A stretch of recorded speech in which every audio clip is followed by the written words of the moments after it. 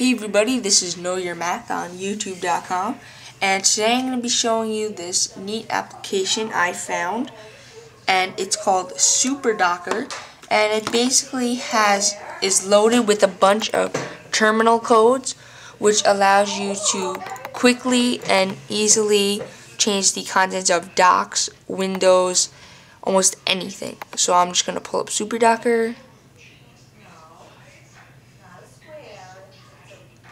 Here we are. Okay. And this is what it looks like.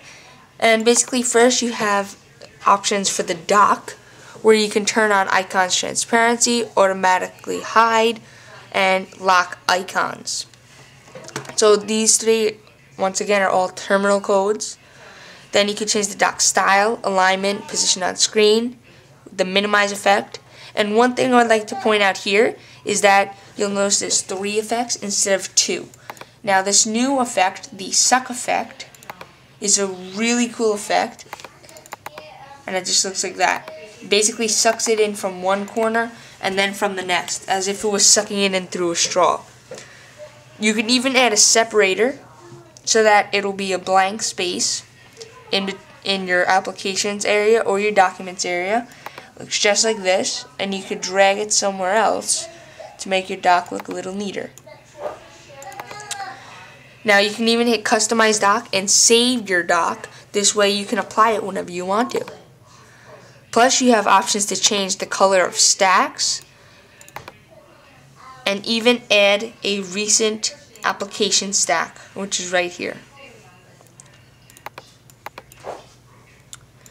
Next you can change things for Finder change things for dashboard, and even create your own dashboard application chooser and save it.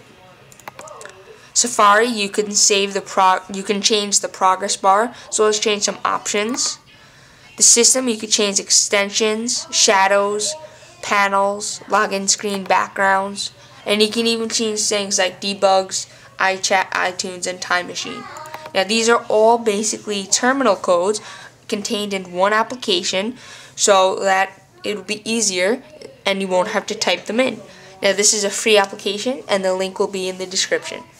I hope you've enjoyed this tutorial and I hope you subscribe. Thanks.